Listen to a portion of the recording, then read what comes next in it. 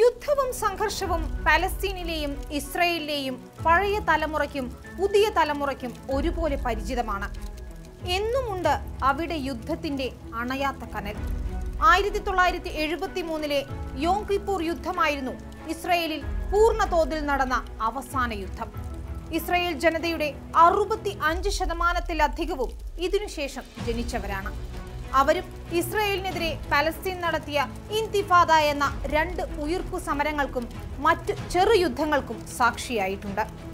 എന്നാൽ ഇത്തവണ സ്ഥിതി അങ്ങനെയല്ല. അണിയറയിലെ ആ നീക്കങ്ങളും ദുരൂഹമാണ്. കോവിഡ് വ്യാപനത്തിനിടയിൽ ഒരു വൻ രാഷ്ട്രീയ മാറ്റത്തിന് പശ്ചിമേഷ്യ വേദിയായിരുന്നു. രണ്ടായിരത്തി ഇരുപത് ഓഗസ്റ്റ് പതിമൂന്നിന് അന്നത്തെ യു എസ് പ്രസിഡന്റ് ഡൊണാൾഡ് ട്രംപിന്റെ മധ്യസ്ഥതയിൽ യു എ ഇയും ഇസ്രായേലും തമ്മിൽ ഔദ്യോഗികമായ നയതന്ത്ര ബന്ധങ്ങൾ സ്ഥാപിക്കുന്നതിനുള്ള കരാറിൽ ഏർപ്പെട്ടു. ജൂത ക്രൈസ്തവ മുസ്ലിം പാരമ്പര്യത്തിൽ വരുന്ന വിശുദ്ധ വ്യക്തിയായ അബ്രഹാമിന്റെ നാമധേയത്തിലായിരുന്നു ആ കരാർ. പശ്ചിമേഷ്യൻ രാഷ്ട്രീയത്തിന്റെ ഭാവിയെ നിർണയിക്കാൻ ശേഷിയുള്ള നിർണായക കരാർ. അറബ് മുസ്ലിം ലോകരാഷ്ട്രീയത്തിന് മേൽ പാശ്ചാത്യ ആംഗ്ലോ സാക്സണിക ലോകം നേടിയ മറ്റൊരു രാഷ്ട്രീയ വിജയം കൂടിയായിരുന്നു അത്. ഇതിനൊരു മറുവശമുണ്ട്. പലസ്തീൻ ജനങ്ങളുടെ മൗലികമായ അവകാശങ്ങൾ വരെ ഉന്മൂലനം ചെയ്തുകൊണ്ടുള്ള ആധുനിക നവോത്ഥാന പുരോഗമന ജനാധിപത്യത്തിന്റെ ഇരുണ്ടവശം. ആധുനിക മാനവ വിമോചന സങ്കല്പങ്ങൾക്ക് കനത്ത തിരിച്ചടിയാകുന്ന ഒന്ന്.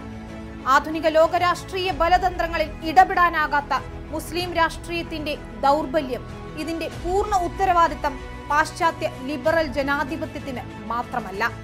അറേബ്യൻ രാജ്യങ്ങൾ എണ്ണപ്പണത്തിലൂടെ സമ്പന്ന ശക്തികളായപ്പോൾ സ്ഥാപിച്ചതാണ് ആയിരത്തി തൊള്ളായിരത്തി എൺപത്തി ഒന്നിലെ Gulf corporation council G C C.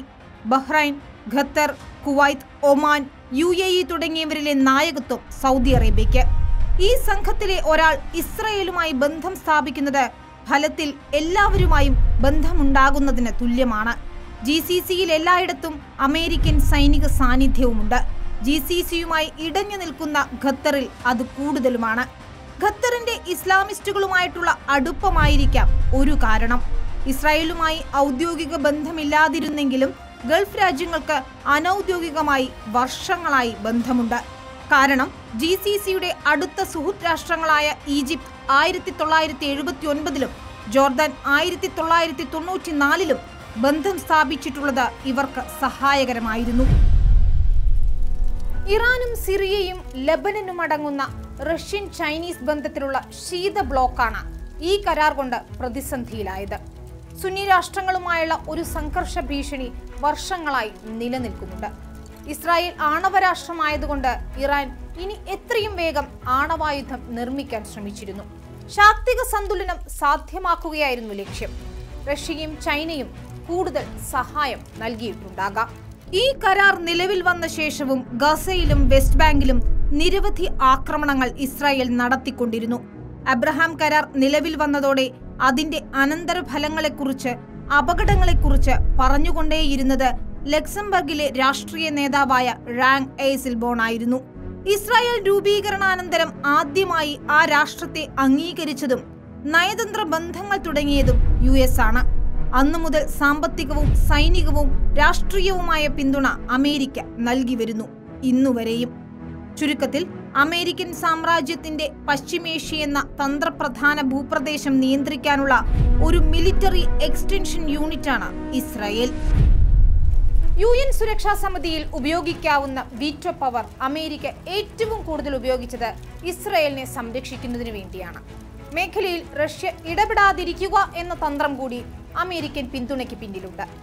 അമേരിക്കയുടെ സൈനിക സാമ്പത്തിക ശക്തിക്ഷയം ഭാവിയിൽ തീർച്ചയായും ഇസ്രയേലിന്റെ അതിജീവനത്തെ ബാധിക്കും. ഇവിടെയാണ് ഇറാനും റഷ്യയും സംശയമുനയിൽ നിൽക്കുന്നത്.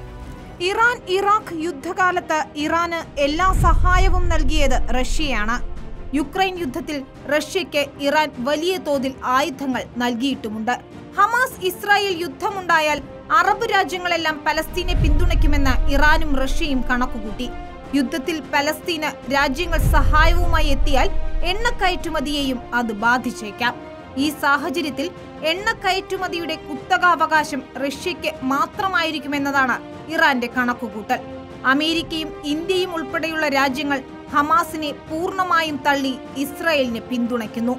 അമേരിക്കയാകട്ടെ ഇസ്രായേലിന് സാമ്പത്തിക സഹായവും ആയുധ സഹായവും ഉറപ്പു നൽകി കഴിഞ്ഞു.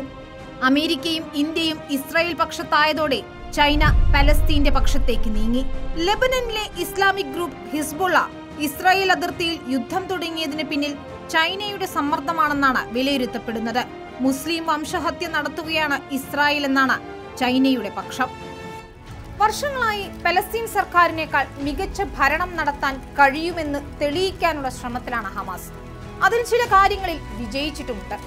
അന്താരാഷ്ട്ര തലത്തിൽ സാമ്പത്തിക ഉപരോധം നേരിട്ടിട്ടും പലസ്തീനേക്കാൾ ഫണ്ട് സമാഹരിക്കാനും കഴിഞ്ഞു. പലസ്തീൻ നേതൃത്വത്തെക്കാൾ അഴിമതി കുറഞ്ഞ ഭരണമാണെന്ന് ജനങ്ങളെ ബോധ്യപ്പെടുത്താനുമായിട്ടുണ്ട്.